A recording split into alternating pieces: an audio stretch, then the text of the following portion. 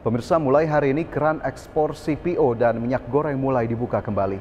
Kementerian Perdagangan akan mengatur kebijakan Domestic Market Obligation atau DMO serta pengawasan Domestic Price Obligation atau DPO yang akan kembali diterapkan.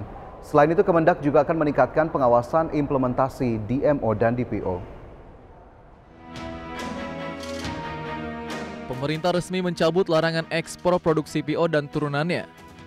Mulai hari ini pelaku usaha sudah bisa kembali melakukan ekspor sawit beserta turunannya. Menteri Perdagangan Muhammad Lutfi menjelaskan, sejak diberhentikannya larangan ekspor CPO dan turunannya stok minyak goreng dalam negeri mengalami peningkatan 108,74 persen dari kebutuhan nasional sebesar 211.638,65 ton. Pasokan tersebut menurutnya lebih besar dari kebutuhan nasional yang hanya 194.634 ton. Lutfi mengatakan pihaknya akan segera mengatur sejumlah kebijakan baru terkait ekspor CPO dan turunannya, termasuk di antaranya kebijakan DMO dan DPO. Lutfi juga memastikan akan meningkatkan pengawasan pada implementasi kebijakan tersebut dengan terus melibatkan aparat penegak hukum. Ekspor CPO dan turunannya akan mulai dibuka kembali tanggal 23 Mei 2022 yang akan diatur dalam peraturan Menteri Perdagangan.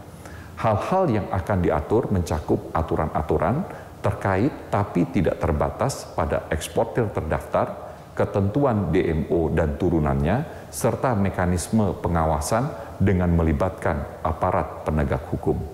Bapak, Ibu, Saudara-saudara sekalian, Kementerian Perdagangan bersama BUMN dan pelaku usaha akan terus memperluas akses penjualan minyak goreng curah di sisi lain, melalui program minyak goreng rakyat diharapkan minyak goreng murah bisa diakses masyarakat.